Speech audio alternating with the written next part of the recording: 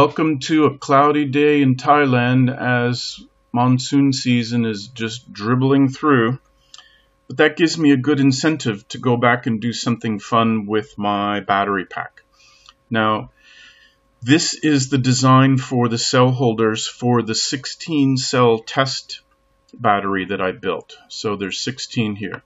Now what I need to do is to get that uh, set up for 20 cells because we're going for an 84 72 volt pack at 84 volts fully fully charged. So I need to add two more cell holes to the outside while maintaining the intercell gap and the extra bit on the end because that's different from the uh, the spacing between the cells. It's thicker at the end then I also need to stack this thing three high. Now I know Fusion 360 just enough to get me into trouble, um, but this is going to be a bit of a challenge, even though all the drawing part has been solved. Uh, let's see what it takes. And here's what I ended up with. So what I had to do to to add the two uh, the two extra rows of cells on onto the end in the first step is take that initial one we had of 16, copy it, flip it around, attach it to the end, and then cut the extra off, which was a pain. And then it was fairly straightforward to take the the 10 long one, copy it three times, and then join them all together. Uh, one extra thing I did that you can see is I added these holes, these four millimeter holes, to be able to bond the two halves of the cell holder together to uh, keep it in place. Now, I was looking at trying to buy some hardware for this, say some 4 millimeter plastic bolts that needed to be 80 millimeters long. Couldn't find anything. Then I realized I could just use zip ties. I can run a zip tie from here around the other side and come out here and bind it that way. It might take a doubling up on the zip ties, one to go out and then one to come back. So I do that one, that one, that one, that one, that one, and that one. And that should pretty securely hold the, uh, the cells in place.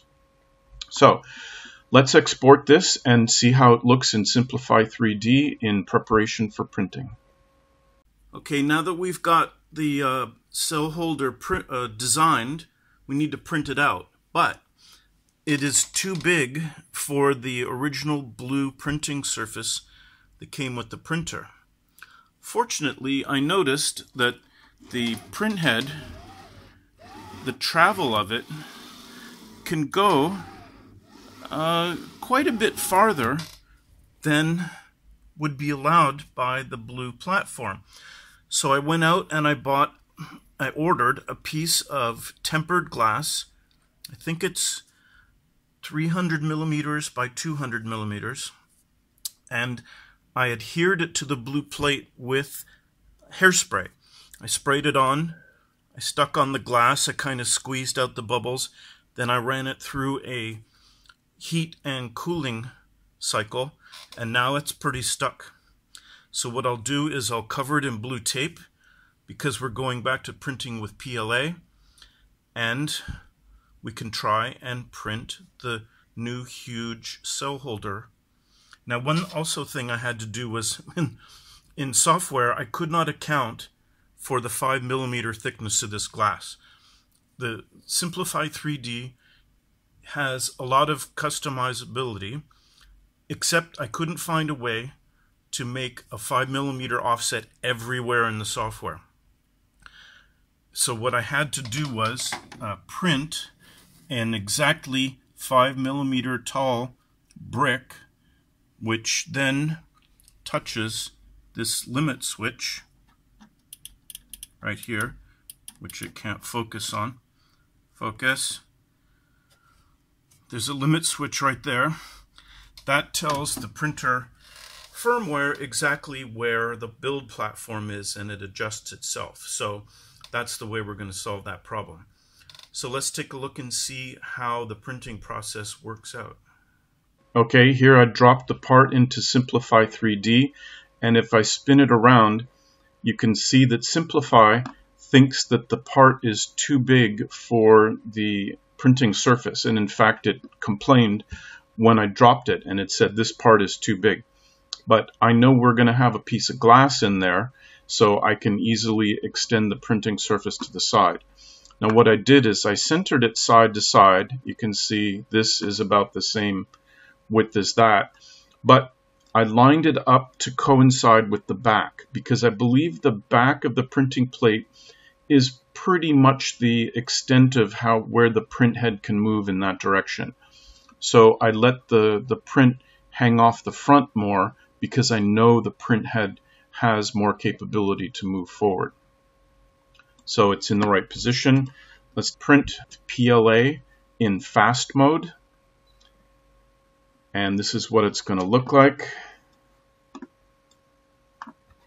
You can see uh, it puts down these rectangular and square pads first, and then it builds the bridge across, and then it draws the circles, and then it starts building the cup holders for the cells and then we're done.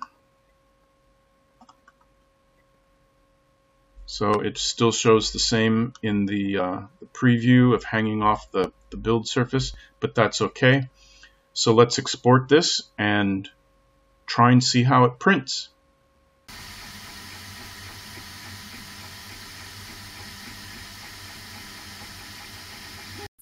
Okay, here we have the completed first print of one side of the battery pack holder. You can see it's taking up a lot of space on that glass plate and it never would have fit without it. It took uh, six and a half hours. So let's pop that off and print up the second one. Okay, here we have the finished uh, cell holder with some cells just stuck in there to keep it from falling over. And this is three modules. This is one module of 20 cells. These are all in series. Another module in series and another module in series. And these will all be connected in parallel for both charging and discharging.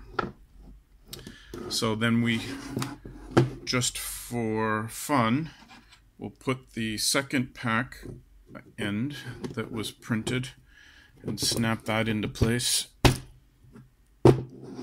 So we now have our first module, not only for building and testing, but we get to see how it fits inside the box.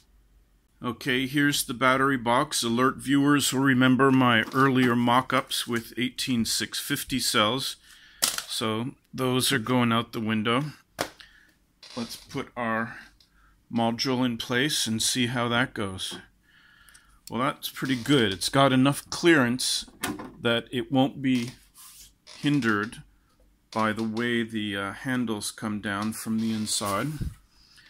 And it's got enough clearance side to side that I can put some padding in. And I can put one, two, but then I can't put a third one in unless I reconstruct this thing here. Can also go this way, one, two, and then I have the same problem. So this has got to go. But even with that gone, one, two, three, I'm just short of enough space to fit four of them in. So I think three will be good